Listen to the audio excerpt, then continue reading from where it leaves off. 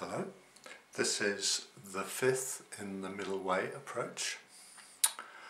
So in this session I want to talk more about the development of skills.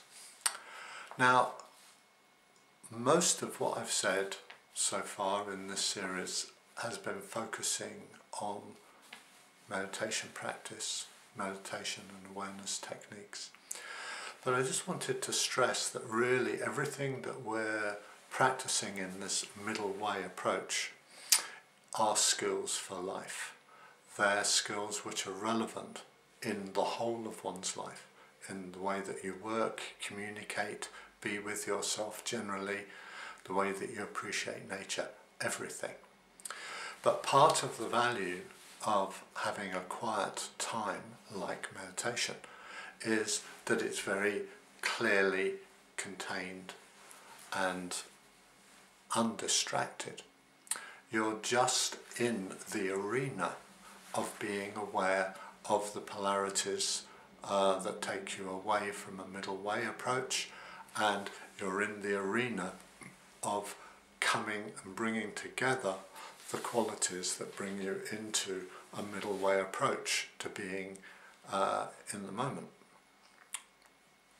So that being said, I just wanted to touch on the whole area of particular skills that are useful in meditation and outside of meditation.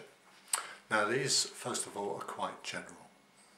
So one of the first useful skills to develop is on the basis of your uh, motivation practice a middle way approach is checking and adjusting.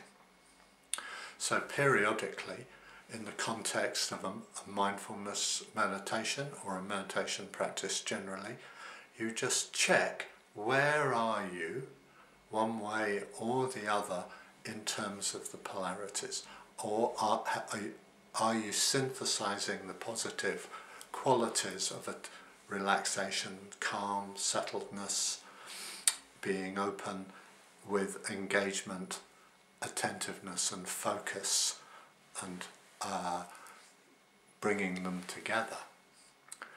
So if you check periodically and you notice that you're falling away, you adjust. You bring your attention, you, you focus more, you give more energy and you may even remember your motivation for practice. You engage with this is a good thing and it's worth it.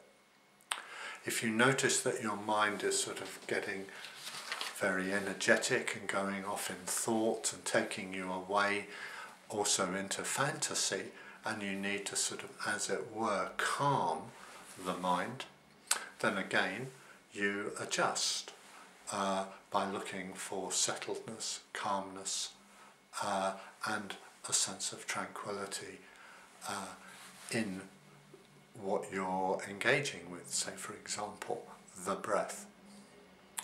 So in that way, periodically, you remember to check and adjust. And this checking and adjusting leads to another primary skill of noticing quickly. So that if you've gone off on a, a sort of energetic train of thought that takes you away from a, a sort of calm awareness, you, you act quickly and go, no, this is not my intention. My intention is to come into a middle way attentiveness.